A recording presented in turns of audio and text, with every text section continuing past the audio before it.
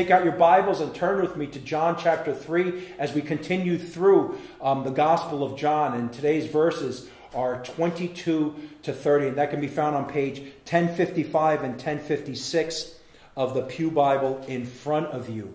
And as you turn there, I want to say that I've titled this message, Joy in the Lord, with the subtitle, Our Greatest Expression of Love. You see, the joy that we have of, in the Lord um, should be lived out throughout our Christian lives. People should be able to see us and how we live, how we think, how we act, how we react. And they should see Christ in us. They should see our joy. And when we do that, when we live that way, when we express our joy in Christ, it is the greatest manifestation of our love for Christ. And so, if you have that out, let me invite you to rise as we read the infallible, inerrant word of the living God. The Apostle John chronicles these words. He writes, After this, that's after the interaction with Nicodemus, after this, Jesus and his disciples went into the Judean countryside, and he remained there with them and was baptizing. John also was baptizing at Aenon near Salim because water was plentiful there and people were coming and being baptized. For John had not yet been put in prison. Now, a discussion arose between some of John's disciples and a Jew over purification. And they came to John and said to him, Rabbi, he who was with you across the Jordan, to whom you bore witness, look, he is baptizing, and all are going to him. And John answered, A person cannot receive even one thing unless it is given him from heaven. You yourselves bear me witness that I said, I am not the Christ, but I have been sent before him. The one who has the bride is the bridegroom. The friend of the bridegroom who stands and, and hears him rejoices greatly at the bridegroom's voice. Therefore, this joy of mine is now complete. He must increase, but I must decrease. Let us pray. Our Holy Father and glorious God, we thank you so much for how you have preserved your word for us this day.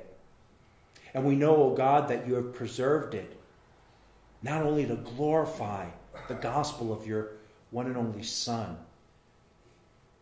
but that we who read these words and take them to heart, O oh God, can be transformed by them. And so, Father, would you do your work through these verses this day, O oh God? And may Christ be glorified in it. For we pray these things in his name and for his glory. Amen. You may be seated. Joy. What a beautiful word, right? Think about it. A three letter word that has so much rich meaning joy. In fact, some people love this word so much that they named their daughters Joy. It's a beautiful word. It's a word that, that when you read it, right, it, even if you can't define joy, you automatically feel some type of elation, some type of happiness, right? It's a beautiful word. And quite honestly, many times people take this word and they misinterpret it. Throughout um, Advent, I preached on joy. And every year we will preach on joy. And whenever it shows up in the scriptures, it will be my joy to preach joy to you. And as I said, and I'm sure you already know, there's a massive difference between joy and happiness. Happiness comes and happiness goes, but joy remains consistent. And if you've never experienced true, meaningful joy, it's hard to understand what I'm talking about. But there is a joy that you and I are to have, that confessing believers are to have because we are confessing believers, because we have been taken from the depths of hell and we have been saved from it and saved for eternity. Remember what Jesus said in the previous verses? He says, I did not come into the world to condemn the world, right? So he's telling them, there, take it easy. I did not come into this world to condemn it. And why did he say that? Not because he would not condemn sin. No, Jesus did not condone sin, right? But he didn't come, and he, he, but he said he did not come to condemn it, not for any other reason, but other than the fact that, you know what?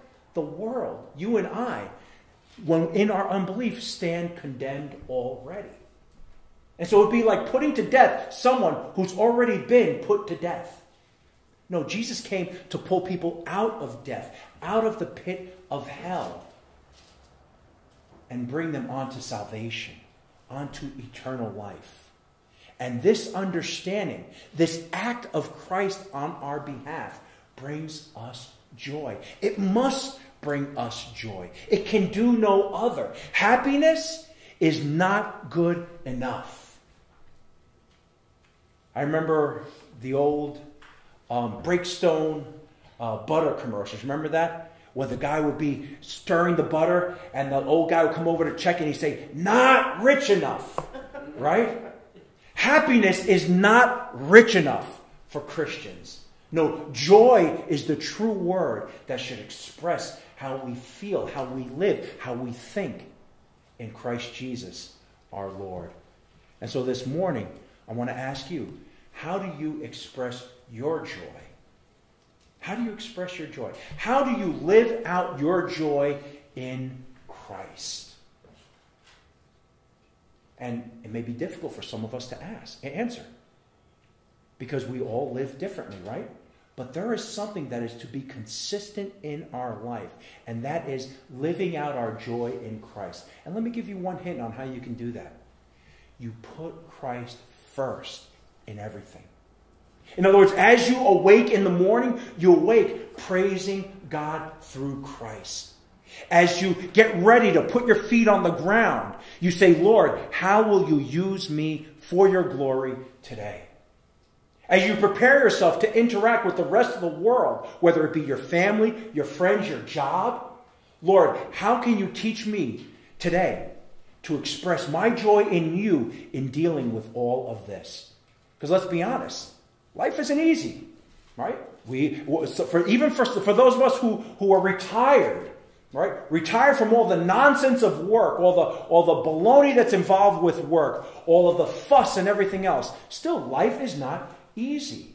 And we deal with people that can sometimes seek to steal our joy.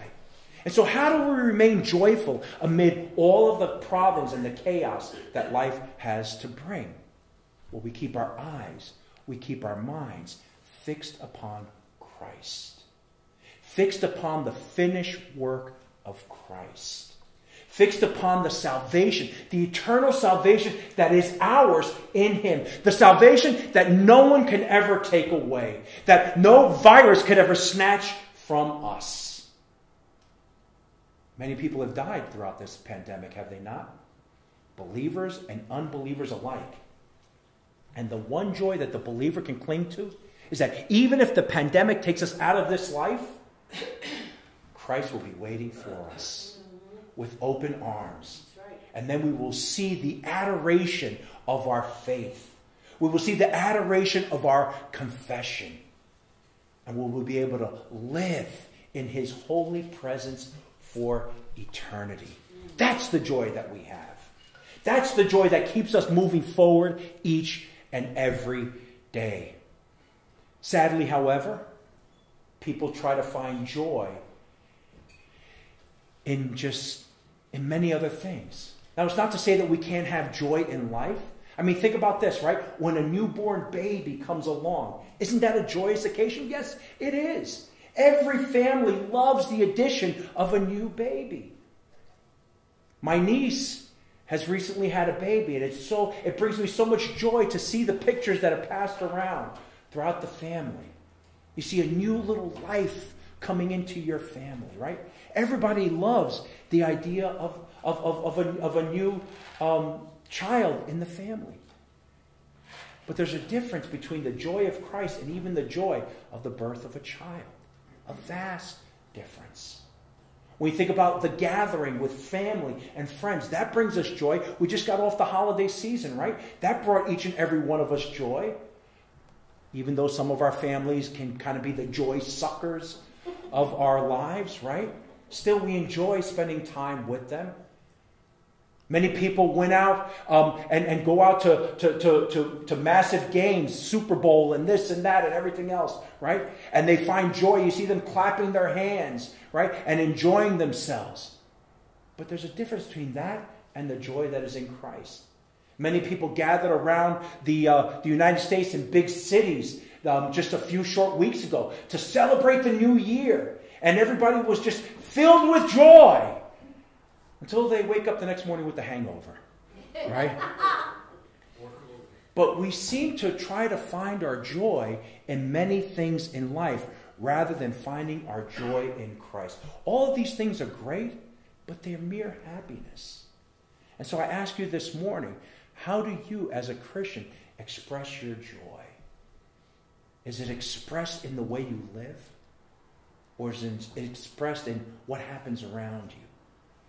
Right? Is it expressed in, in just, you know, when, when things are going good? Or is it expressed all the time because you have a close relationship with Christ? You see, my friends, as confessing believers in Christ, Satan is always going to be attacking your life. He's always going to do something to make you feel like you don't have that close connection with Christ. Even if you're involved in ministry, there's always going to be something that's going to try to bring you down, to, to kind of suck that Christian joy from your hearts. But we've got to be on guard. We've got to be ready to stand firm in the joy of the Lord, in the joy of knowing that we have a close, intimate relationship with Jesus Christ. A relationship that has saved us from eternal destruction. A relationship that has saved us from ourselves, right? Sometimes we can be our own worst enemies. Sometimes we stand there and we shoot ourselves in the foot. But it's a joy that we have in Christ that continues to save and it continues to nourish us each and every day. It's a joy because we love Him, we trust Him, and we find our, our faith in Him. Let me share with you a couple of scriptures that speak to this joy that we are to have. 1 Peter chapter 1 verse 8 says this, Though you have not uh, seen him, you love him. Though you have not seen Jesus, you love him. Though you do not now see him, you believe in him and rejoice with joy that is inexpressible and filled with glory. Yes, the joy that a Christian has in the Christ that they have not yet seen is an inexpressible joy that is filled with glory. As you express your joy in Christ, Christ is glorified in it. And we grow in that glorification. Here in Proverbs 10, verse 28, the hope of the righteous brings joy. The hope that we have in eternal salvation, the hope that we have that Jesus will never leave us nor forsake us, that's the hope of the righteousness. And that brings joy. But the expectation of the wicked will perish. In other words, those who are seeking their joy in this life, those who have no relationship with Christ, they will perish. There is no joy there. And so we see here that there's a vast difference between the believer and the unbeliever. And God calls us, as confessing believers, to understand this joy that we have. So that when things come along or people come along that seek to steal our joy, we can stand strong and express that joy to the rest of the world. This is what was happening in John chapter 3, verses 22 to 30.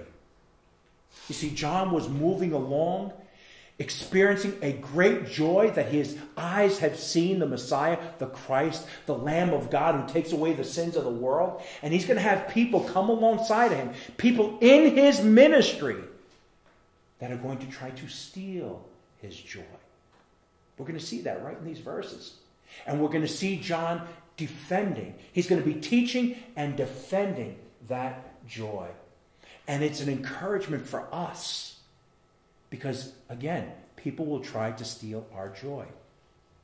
But we must stand firm in the joy of the Lord. Stand firm in understanding that we play a role in expressing the joy of Christ to one another and to the world.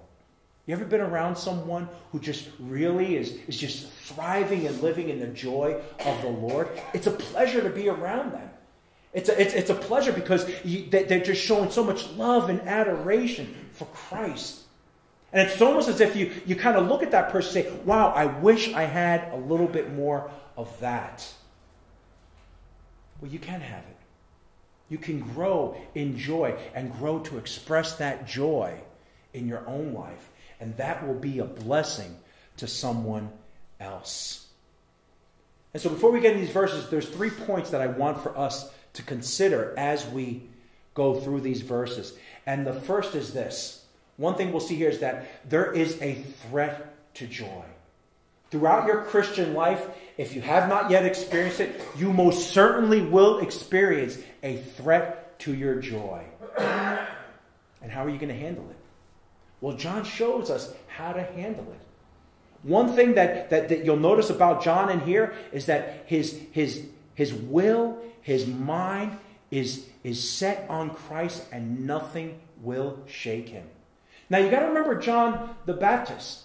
John the Baptist is a character that comes on the scene and then he leaves abruptly. And he doesn't leave in a good way.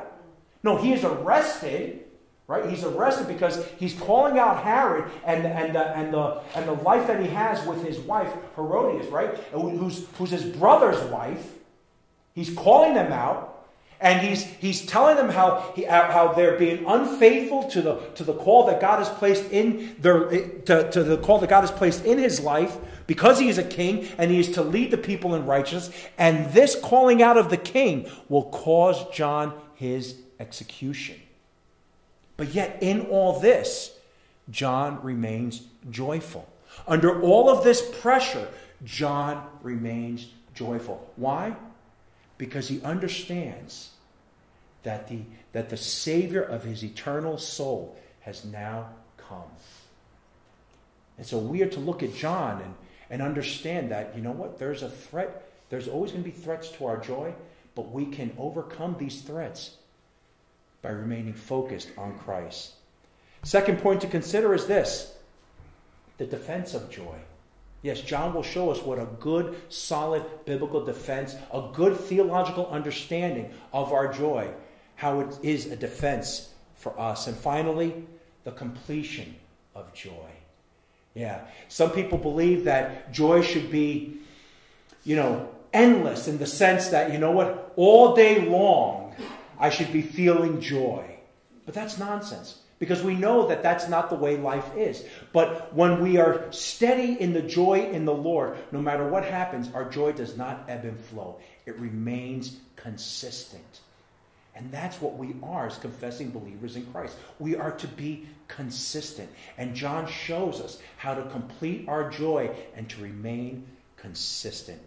And so, first in verses 22 to 26, they show us the threat to joy. And I want to say this the greatest threat to our joy in the Lord is derived from our sinful desire for relevance. Our sinful desire to want to fit in to the rest of the world. Our sinful desire to want to get ahead past the call that God has allotted to us, past the life that has been given to us, whether you're a confessing believer or not. The greatest threat to our joy in the Lord is derived from our sinful desire for relevance. We see these verses here, verse 22. After this, that is, after the discussion with Nicodemus and whoever it was that came with him, after this, Jesus and his disciples went into the Judean countryside, and he remained there with them and was baptizing. Now, first of all, the scriptures tell us that Jesus was there baptizing. But then when you read in John chapter 4, just the very next chapter, verses 1 and 2, it says, Now when Jesus learned that the Pharisees had heard that Jesus was um, making and baptizing more disciples than John, although Jesus himself did not baptize, but only, John, but only his disciples, this kind of makes us say, wait a minute, what's John talking about? Did, was Jesus baptizing or was he not baptizing. It's important for us to frame this because this is what this is the complaint that's going to be brought to John that Jesus is baptizing when you were the original guy baptizing. Well, first of all, Jesus was not baptizing, he was actually directing the baptism of the people. And so, why didn't Jesus baptize? That's important for us to understand as well. Well, I got a couple of reasons right here. First of all, he was preaching and calling people to repentance.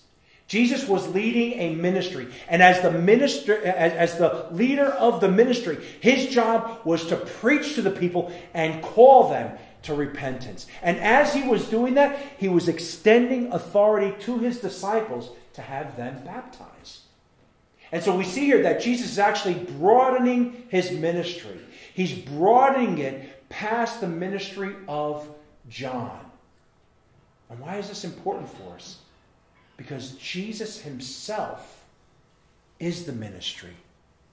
And he empowers people to come along his side and to do his work. And he's preparing his disciples to be apostles. But there's something else here. The disciples were baptizing with water, but Jesus would eventually baptize with the Holy Spirit at Pentecost. And so the baptism of the disciples was different than the baptism of Jesus. It was a physical washing of water, which was important, it was ceremonial, but they would eventually receive the Holy Spirit at Pentecost. And so, as this is happening, as Jesus is baptizing, as he's calling his disciples, and they're doing baptizing, as Jesus is preaching to them and extending the gospel, here's what happens the threat to joy. Verse 23 John also was baptizing at Aenon near Salim, because water was plentiful there, and people were coming and being baptized, for John had not yet been put in prison. Now, why is that there in a parenthetical statement? Well, because the Gospel of John was written after the Gospel of Matthew. And so John writing this knows that everybody who know, knew about John the Baptist knows that he was beheaded. So he's saying this happened before he was beheaded. So you see how these verses actually give um, weight to the Gospels that were written beforehand? But John puts it in there for, for a reason, and the reason is for us to understand that John understands the full scope of what had happened to John the Baptist. And then in verse 25 it says, Now a discussion arose between some of John's disciples and a Jew over purification. Well, what do you think that discussion was? Right? They were probably saying, Who has the right to perform baptism? Is it you, John? Or is it this new guy, Jesus? You came long before him, so why is he baptizing? Why is he calling people to repentance when this began as your ministry? And when you think about it, right? Yes, it was John's ministry first. Matthew chapter 3, verses 1 and 2 says this In those days, John the Baptist came preaching in the wilderness of Judea Repent, for the kingdom of God is at hand. And so we see that this was initially John's ministry. But now the people are coming to John and saying, Hey, what's going on? Why is this guy baptizing when this was your ministry? To whom does the ministry of baptism belong? Does it belong to you, John? Or does it belong to Jesus? Do you see what's getting stirred up here? This is a, this is a threat to joy. Now, if John were some type of modern day um, uh, uh, uh, minister, John might get upset at that. Yeah, you're stealing my flock, right? You're stealing my sheep, right? But no, that's not what happens. And we look further in the, in the verses, and we see this. And they came to John and said to him, Rabbi, he who was with you across the Jordan, to whom you bore witness, look, he is baptizing, and all are going to him. He's saying, You're losing your ministry. What's going on, John? Wake up. This guy is supplanting your ministry. Do you see what's happening here? You've got the people who are claiming to be believers, who are claiming to follow John, trying to lead John to rise up against Christ. What we see here is ministerial jealousy. Yes, that happens. Ministerial jealousy. One person is leading a ministry, and perhaps they started it. And now another person comes along, and their ministry is growing greater than the one who started it, and people get jealous. And this is wrong. It's wrong because you know what? We don't know what ministry God has allotted to us as individuals, but we know that he has allotted a ministry. And when we look at the ministry of Christ and the ministry of John the Baptist, it's a no brainer to know that the ministry of Christ must increase and John's ministry must decrease. Because John's ministry was to point to Christ. And that's what the that's what these people don't get. That's what John's disciples and the, whoever this Jew was that was that, that was in this discussion, that's what they didn't get. That this ministry belongs to Jesus. That everything belongs to Jesus. That when John came down out of the wilderness, that call of John belonged to Jesus as well. And so we should really stop here for a moment and say to ourselves, everything in our life, every time we share the gospel, that belongs to Jesus. This is why the Bible tells us salvation is of the Lord. Let me tell you something. Even with your best efforts, you don't get anyone, you don't convince anyone to believe on Jesus Christ. Salvation is of the Lord. Christ calls us just play our role and share the gospel, and He will bring the increase. And so we see here that on the surface, this is a threat to John's ministry. Ministerial jealousy is the very same thing that the Pharisees showed toward Christ. They didn't like that he came in there to tell them that the Old Testament is fulfilled now in me. That Judaism is fulfilled. That I am the long awaited fulfillment of all that you have failed to fulfill. It is ministerial jealousy that drove Christ to the cross. Remember Caiaphas? He says it's better that one man perish than a whole nation perish. No, he's saying it's better that Jesus die than we all die under the hand of the Romans. Ministerial jealousy. That's what's going on here. And many churches suffer with that. Ministry jealousy leads us down the wrong path. And here, John is sharing that with us to help us understand that this could be an issue for each and every one of us. Whether it's in ministry or whether it's a jealousy of something else that someone else has. But in order to fight this, we need to have our faith rooted and grounded in Christ. And we need to understand that everything that we have comes from God. This is why the Apostle Paul would write this in Ephesians chapter 2, verse 10. For we, referring to the confessing believers in Christ, for we are his workmanship. You, my friends, are his workmanship, created in Christ Jesus for good works which God prepared beforehand, that you, that I, that we should walk in them. And so, whatever we have, it is a gift from God. It is not ours, it belongs to God. And so we see right now that there is a threat to the joy in the Lord. But in verses 27 and 28, we see the defense of joy. And let me say this our greatest defense of joy in Christ is understanding our call. Yes, Christ has called each and every one of us to a different walk in life. He has called us all to the same gospel, all to the same salvation, but He's called us each to a different ministry. And He's called everyone, let me be clear, He has called every single one of us to the ministry of the gospel. No matter how much you know or how little you know, Christ wants you to share that with someone, and He will bring the increase. And we've got to understand that we are His workmanship, created in Christ Jesus for good works that God prepared beforehand, that we must walk in them. And so let's look at these verses together. In verse 27, John answered. And, and notice John's answer. John could have told them real easy, What is wrong with you? Didn't you people hear me when I first said, Behold the Lamb of God who takes away the sin of the world? What are you coming to me with this nonsense for? What's wrong with you people? No, he didn't. Notice how caring and loving John is. John uses this as an opportunity to not, to, to not you know, uh, beat up his disciples, but to teach them. He says a person cannot receive even one thing unless it is given him from heaven. Think about that. Nothing that you have, no matter how smart you are, no matter how strategic you've been in the market or in business or anything else, no one has anything unless it is first given to him from heaven. Apostle Paul understood this. That's why he writes in Romans 11:36, "For from him, referring to God, through him, referring to Christ, and to him, referring to the work of the Holy Spirit, are all things. To him be glory forever. Amen. Let it be true. It is true. Everything in life is from God, through God, and to God, that God may be glorified. And so when you think about the things that you don't have, give praise to God. When you think of the things that you do have, give praise to God. When you think of the things that you don't know whether you'll ever get, give praise to God. And when you can do that, that's when you know that you're living in the joy of the Lord. That it does not matter how much you have or don't have, you still can praise God.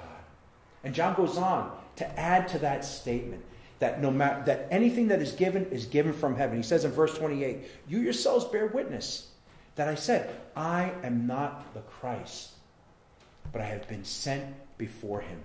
This is a powerful statement. He's saying here, I am not the one. This is not my ministry. I have been given a portion of the ministry, but you need to focus on him.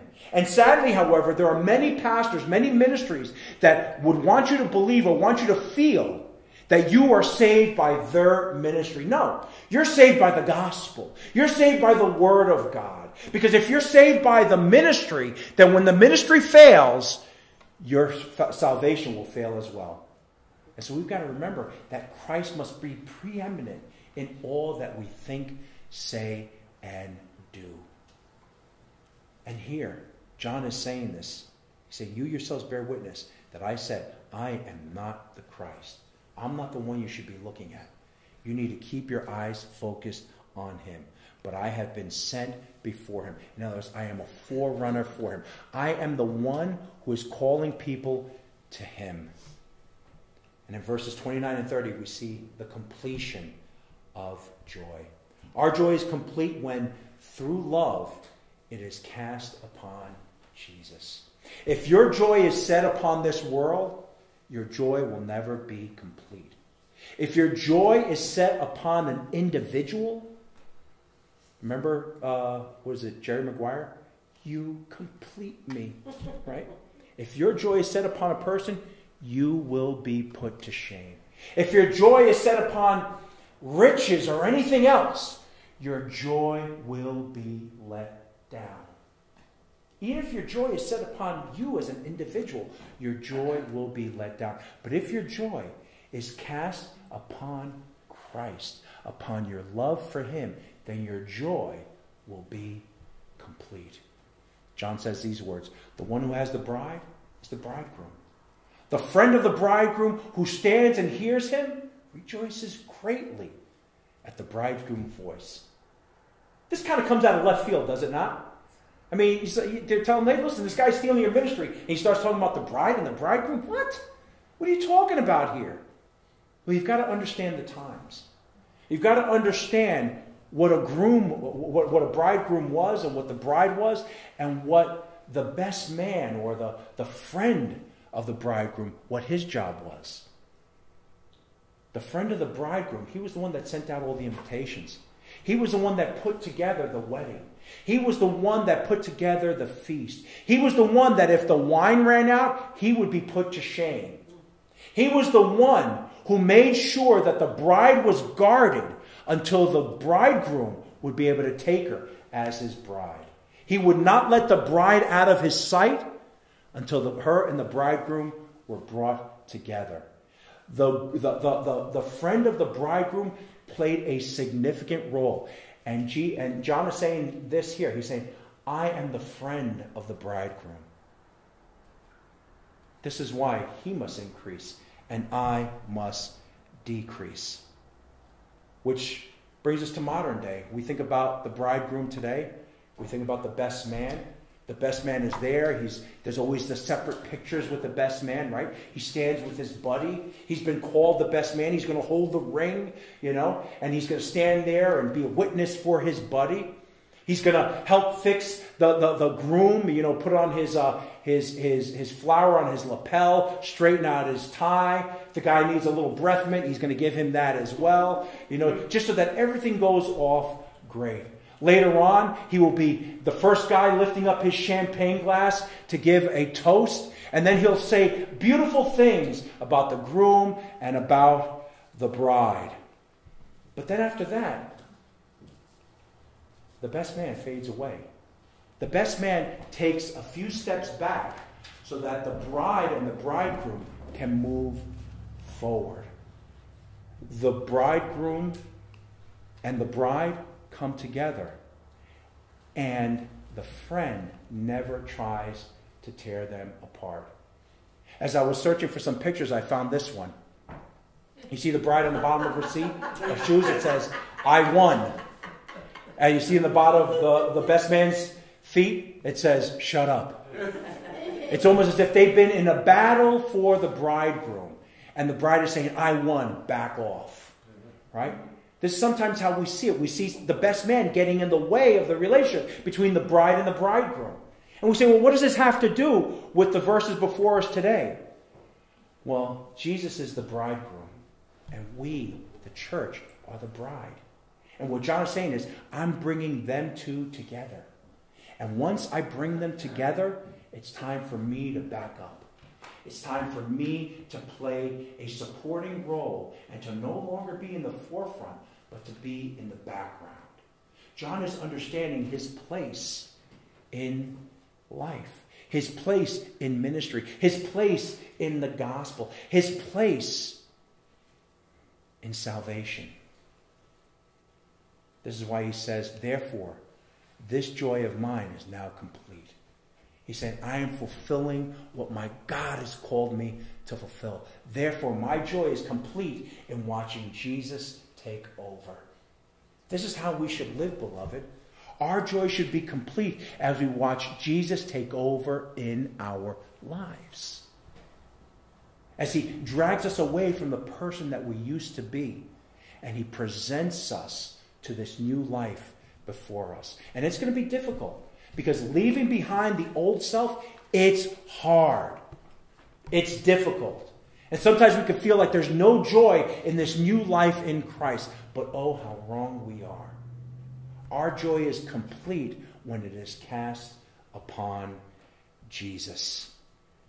The fulfillment of John's joy is found in the person and work of Jesus. This is how John is able to say, He must increase, but I must decrease. Yes, He must increase but I must decrease. In other words, John said, I have played the supporting role so that you will look at him. And when we share the gospel with others, we should be saying, Don't look at me. Don't look at my messed up life. Just listen to my words and follow Jesus. That's why it's so hard for family to preach to family, for family to share the gospel with family. Because sometimes we look at our family members and say, Your life's all messed up. I'm not following Jesus. You're a train wreck. I'm not following Jesus. Don't look at me, but listen to my words. My words are pointing to Christ. He is the founder and the perfecter of my faith. I must, he must increase, and I must decrease. So I want to ask you this morning how is Christ increasing in your life? How is the joy of Christ increasing in your life? How, are, how is the gospel that has saved you eternally, how is that leading you to a greater sense of joy? Well, the answer begins with this by understanding that we are his disciples. We have been called out of our lives, just like the disciples, called out of our lives and presented as righteous in Christ. Therefore, he calls us to be his disciples. And the true disciples of Christ, they forsake all others for their masters. John was saying here, I don't need any recognition. I need none of that. I am willing to shed it all. I don't want anyone else to look at me. Look at the bridegroom. Keep your eyes on Christ. I just came to present him to you, but turn your eyes to him. Jesus says this in Luke chapter 14, verse 26 If anyone comes to me and does not hate his own father and mother and wife and children and brother and sister, yes, and even his own life, he cannot be my disciple. John is saying here, I don't care anything about me. I care only about Christ. And in his words, he's turning his disciples and this other individual, he's turning their eyes to Christ. He's saying, Don't look at me. I'm fallible. I'm, I've got issues. I'm human. I'm sinful but keep your eyes on Christ. And these words of Jesus can be sometimes difficult to hear. You say, What? I got to reject all this? No, what Jesus is saying here is, You must love me more than anything else, than your very life. And if you do, then your joy will be complete and you will be my disciple. So the joy in the Lord, the joy in the Lord, beloved, is the most blessed gift that we can have after being called onto salvation. And Christ has called us to, to grow in our joy in Him, to forsake everything else but for the joy of knowing Christ. And know this, once again, joy in the Lord is our greatest expression of love mm. toward Christ. Right. And when we express that toward one another, we're telling each other how much joy we have in Christ. And so don't let what's going on in the world, whether it be pandemic or politics or anything else, don't let that bring you down. Keep your eyes fixed on Christ. Stay focused on Him, for He is our joy, and He will make our joy complete. Amen?